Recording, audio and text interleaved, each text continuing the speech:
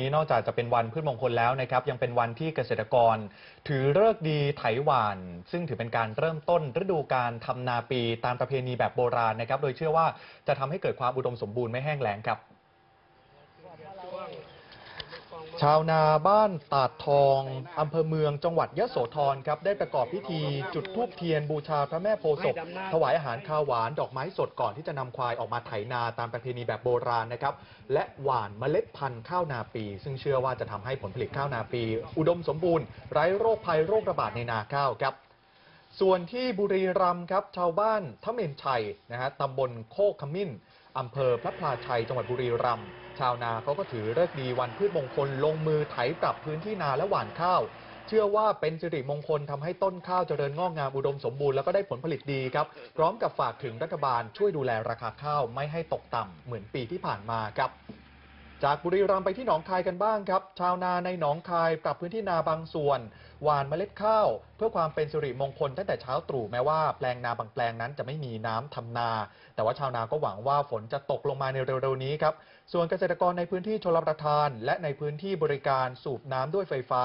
ตำบลหาดคำตำบลสีกาย และตำบลหินโงมก็ได้ต่อท่อเข้าแปลงนาเพื่อทำนาแล้วครับ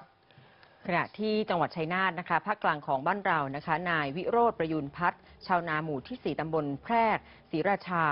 ก็ได้หว่านเมล็ดพันธุ์ข้าวพันธุ์กขอ41 ในพื้นที่นา 70 ไร่ ตามความเชื่อตั้งแต่สมัยโบราณว่าการหว่านเมล็ดพันธุ์ข้าว เริ่มต้นทำนาในวันพืชมงคล จะทำให้ได้ผลผลิตออกมาอุดมสมบูรณ์ดีค่ะ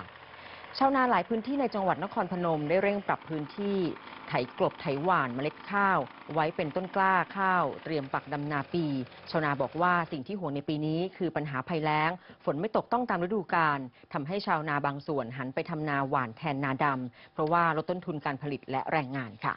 ขณะที่โครงการศูนย์ส่งน้ำและบำรุงรักษาทุ่งสำริดเขื่อนพิมายจังหวัดนครราชสีมา ถือเลิกษ์ดีวันพืชมงคลครับ เริ่มเปิดประตู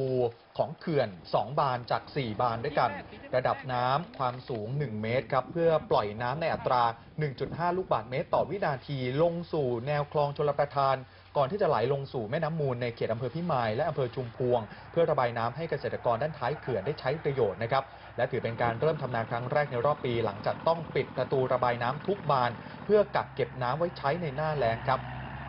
จากอีสานขึ้นเหนือไปที่เชียงรายกันบ้างครับ พื้นที่ภาคเหนือจังหวัดเชียงราย ชาวตำบลสันทรายอำเภอแม่จันทร์และอีกหลายอำเภอถือเลิกดีวันพืชมงคล เริ่มทำนานำรถไถ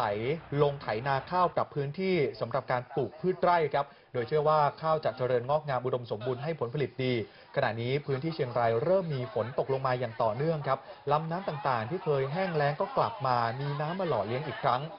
ส่วนที่อำเภอวังทรายพูนจังหวัดพิจิตรครับ ชาวนาในพื้นที่ตำบลหนองปลาไหล